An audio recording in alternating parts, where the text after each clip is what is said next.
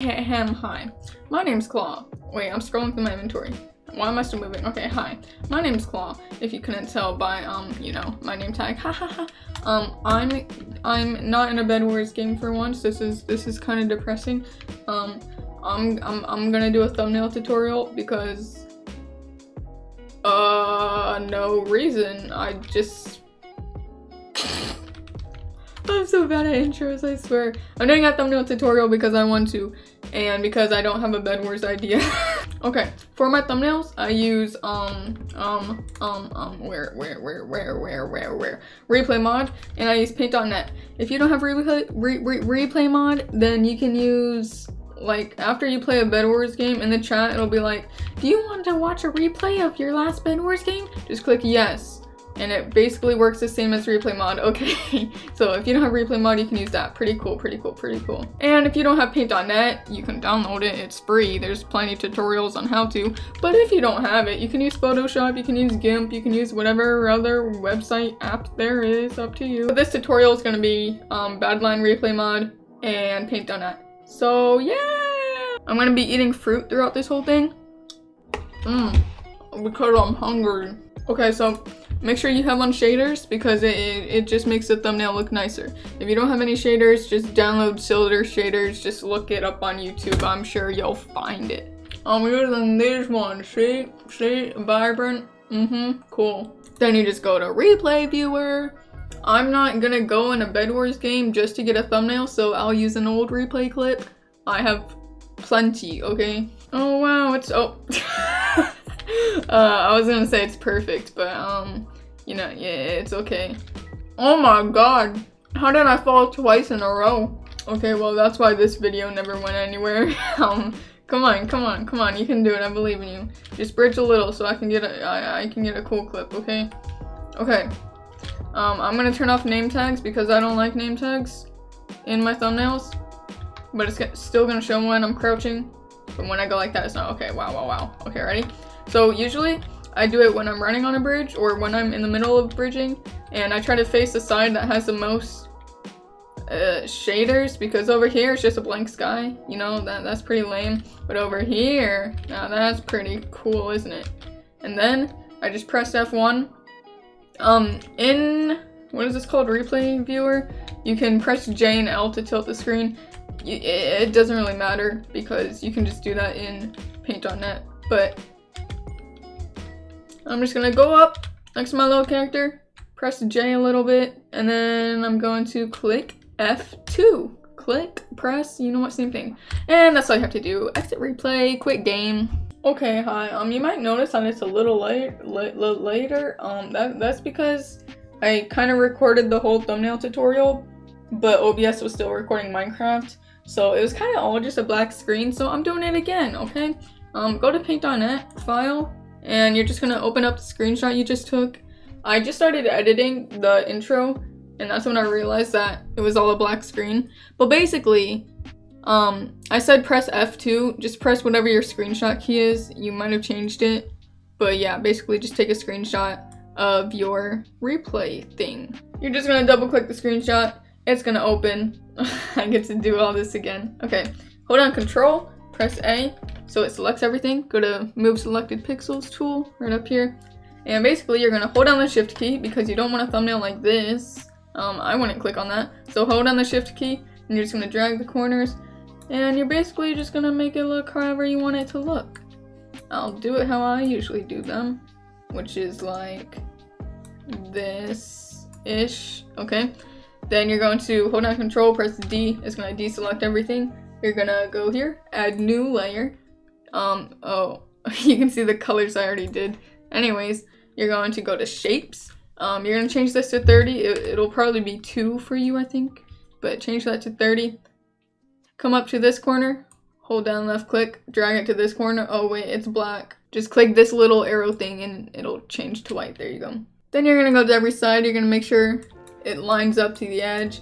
I think I did it pretty well. What do you know? You don't have to do this. I just have OCD and you probably should do it so the border looks nice, but I mean, whatever you prefer. Okay, once you have the rectangle, I just clicked this and I clicked off to finish the rectangle.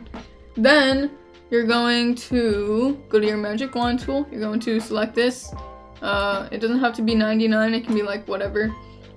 And then you're going to, with this rectangle selected, click on the background layer, then go to Effects, Blurs, Gaussian blur? Gaussian? Gaussian. It's definitely not Gaussian, but that's what I say in my head.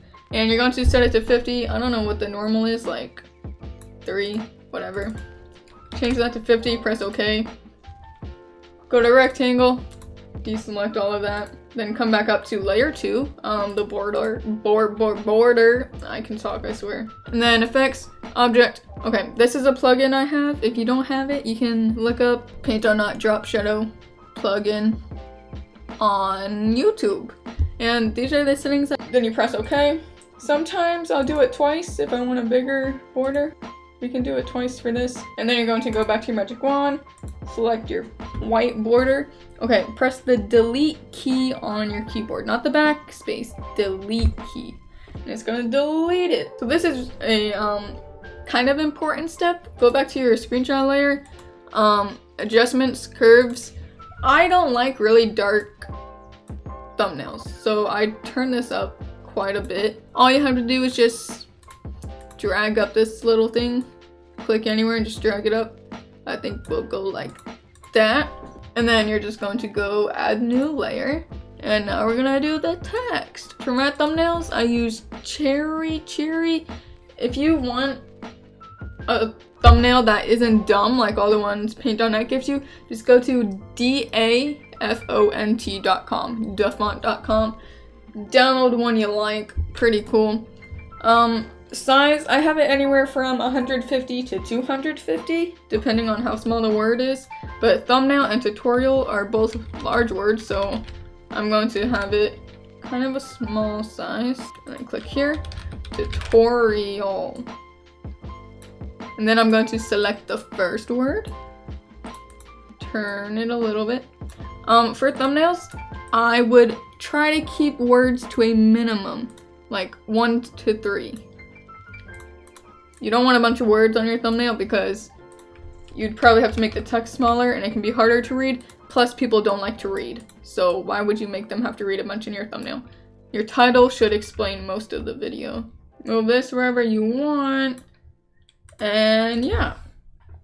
Now, you're going to go to your color picker tool. You're going to go back to your background layer. Usually, I select a color from the sky and a color from the armor. But it doesn't really matter. You're going to left click one color you want and right click another color you want. Then you're going to go back to your text layer. You're going to select one letter, hold down shift, select another letter. It's going to select all of them. Turn this up to 99 so that there's no white outlines. Then go to gradient. Hold down up here, drag it down here. It's gonna make a nice little gradient over your text. Isn't that nice? Then I'm going to effects. I'm going to repeat the drop shadow I just did to give it a nice little outline. Um, then I'm going to actually brighten the text up like I did the background because it looks ugly because it's ugly colors. Tilt this some more. There we go. Now you can pretty much stop making the thumbnail there. I just add some particles um, if you don't have any particles, literally just go to Chrome, type in overlays, and it's gonna give you a bunch of overlays you can use. I would try to find one with a transparent or black background because they just work best, which you'll see in a second. Like here you got newspaper, you got some stars, you know, whatever you want. If you want it to just be aesthetic, aesthetic overlays aesthetic overlays apparently. And you can just use any of these. Obviously for a transparent one, you're just gonna copy it, paste it in. Make sure it's actually transparent, like this one isn't transparent, watch. It's gonna just be a bunch of black and gray, but yeah, don't, don't do that. If you're gonna use a transparent one, make sure it's actually transparent. But I have particles saved, so I'm just gonna use the one I use in every thumbnail, which is just some random dust particles. There we go. Going to hold down shift. If it's a black background, double click the layer it's on. Where it says normal, click that, go to screen, lower the opacity. Usually I lower it a lot, but you know, up to you. And there you go! Magical, magical particles. Without them, with them, without them, with them. Obviously, you can get a lot more creative with it. I just usually don't use a lot of particles, which you will see why in a second. But yeah, that's pretty much how I make my thumbnails. Now, you go to File, Save As, Desktop, where it says Save As Type, it's gonna say Paint.net because you have a bunch of layers. Just make sure you change that to PNG, and then click Save. Okay, now this menu is important, okay? It's very, very, very important. Right here where it says preview file size 1.7. That's gonna be different for you most likely. Maybe it won't be, but this has to be 1.9 or lower. It cannot be 2.0 or above because YouTube just doesn't accept them. So if yours is 2.0 or 2.1, you can change this to 24 and it'll lower it a little bit. Like it went from 1.7 to 1.5. But if it's like 2.3, 2.4 on 32-bit, it's not gonna work. You're gonna have to delete a particle or something because you never wanna go to like 8-bit because that's just disgusting or 4-bit. But if you can do 32-bit, then do 32-bit. It's obviously the best quality, but I do 24-bit like every other thumbnail, so it's not too much of a difference. Your thumbnail will survive. Then you're just gonna press OK, you're gonna leave everything else the same, press flatten, and there you go that's gonna be on your desktop. You can upload it to your YouTube video. So yeah, that's how I make my thumbnails. If you want to use this tutorial at all, go ahead. Maybe you learned something. Who knows? Um, but yeah. If you enjoyed, leave a like, subscribe. We're getting pretty, pretty, pretty close to 3k. I'm starting to work on the specials, which I probably should have started working on earlier.